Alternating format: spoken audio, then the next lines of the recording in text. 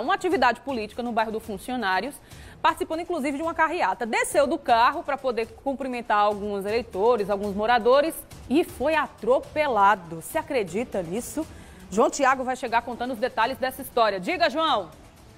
Durante um ato político no bairro do Funcionários 2, aqui em João Pessoa, o prefeito da cidade, Luciano Cartacho, acabou sendo atropelado.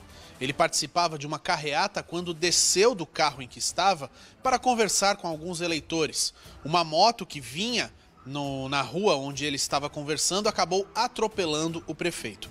Ele recebeu atendimento do SAMU ali mesmo no local e se deslocou para a casa dele, afinal de contas não tinha sido nada grave. João Tiago, para a Rede Tambaú de Comunicação.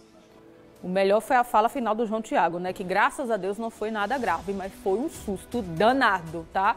Então agora, possivelmente ele esteja até nos assistindo, né? Graças a Deus foi só um susto, está se recuperando. E fica o alerta para todo mundo, né? Aliás, o trânsito é imprevisível, né? Um segundo, mas graças a Deus foi só o susto. E aí o nosso prefeito Luciano Cartacho já está bem se recuperando em casa. 7h27, vocês lembram também.